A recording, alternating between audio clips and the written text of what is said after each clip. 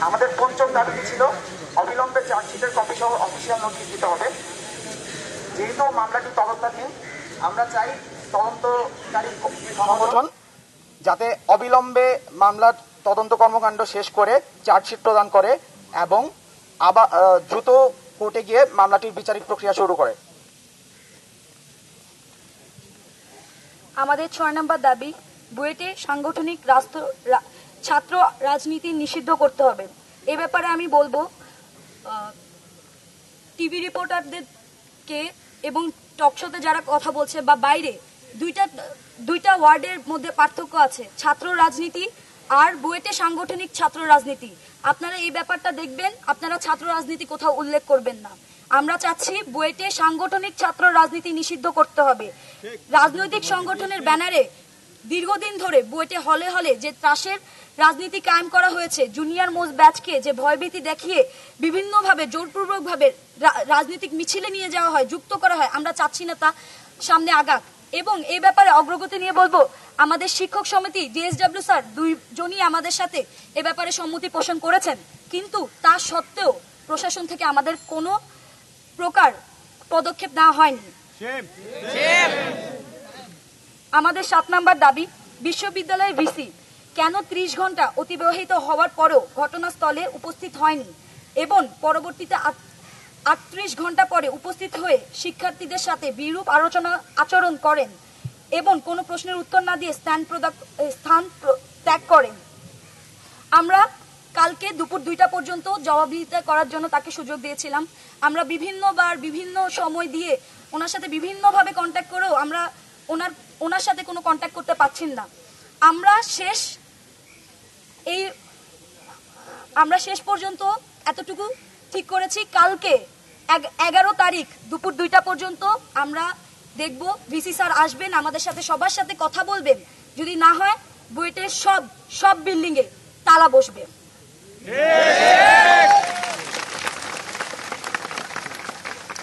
আমাদের আট নাম্বার দাবি।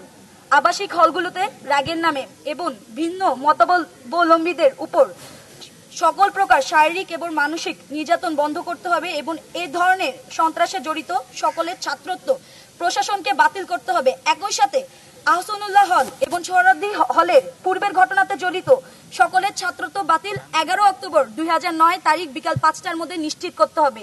এ ব্যাপারে দুই হাজার উনিশ তারিখ বিকাল পাঁচটার মধ্যে নিশ্চিত নিশ্চিত নিশ্চিত। করতে হবে। এ ব্যাপারে আমাদের ডিএসডব্লিউ স্যার আমাদের শিক্ষক সমিতি আমাদের সাথে একাত্মতা পোষণ করেছেন। কিন্তু প্রশাসন থেকে এ ব্যাপারেও আমাদেরকে কোনো প্রকার প- পদক্ষেপ নিতে আমরা দেখিনি। আমাদের নয় নাম্বার দাবি পূর্বে ঘটে ঘটা এ ধরনের ঘটনা প্রকাশ এবং পরবর্তীতে এটা যে কোনো ঘটনা প্রকাশের জন্য একটা কমন প্ল্যাটফর্ম আমরা তৈরি করতে চাই। এবং তা এগারো অক্টোবর দুই হাজার উনিশ তারিখ পাঁচটার মধ্যে দৃশ্যমান অগ্রগতি প্রদর্শন করতে হবে। এই ব্যাপারেও আমাদেরকে আমাদের শিক্ষক সমিতি, ওনারাও চাচ্ছেন ব্যাপারটা হোক, ওনারাও আমাদেরকে সম্মতি দিয়েছেন। কিন্তু এ ব্যাপারেও প্রশাসনের থেকে আমরা কোনো পদক্ষেপ গ্রহণ করিনি। পদক্ষেপ এখন পর্যন্ত করতে দেখিনি।